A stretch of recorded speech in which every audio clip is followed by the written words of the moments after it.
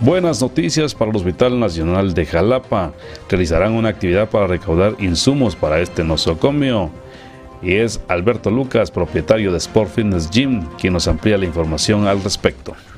muchas gracias por la entrevista. La verdad de que, que quisimos uh, hacer uh, una actividad en la cual se pueda, se pueda eh, tener algunos insumos para, para necesidades que tiene el hospital, ¿verdad?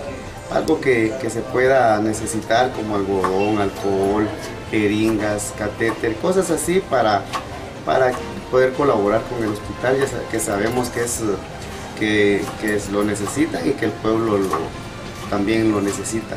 ¿En qué, ¿En qué consiste y qué es lo que, cómo estará funcionando? ¿Cuál es el mecanismo a utilizar para esta actividad?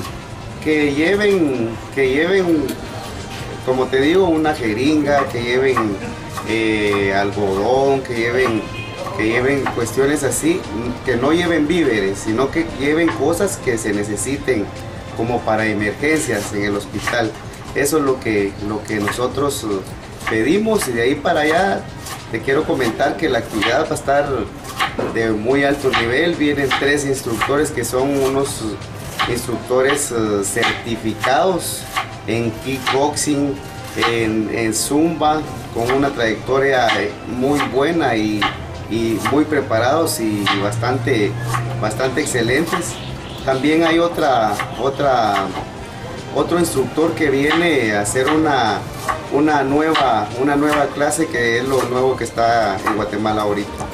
¿Qué es esto? ¿Qué es lo nuevo? Para que la gente ya Lo nuevo es, es una especie de baile con tonificación muscular ese, eso es lo nuevo. Eso es lo nuevo que, va a venir a mostrar este, este, esta persona, este instructor. Y bueno, espero que lleguen y que, y que disfruten la clase. Son dos horas y media de actividad. ¿Cuándo y a qué horas? Es el, viernes 22 en el gimnasio. Está por el complejo deportivo, Sport Fitness Gym. Eh, es a partir de las, de las 5 de la tarde hasta las 7 y media o hasta que el cuerpo aguante. Lo que sí les digo es que los instructores que vienen son de, alto nivel y, que van a, van a disfrutar la clase.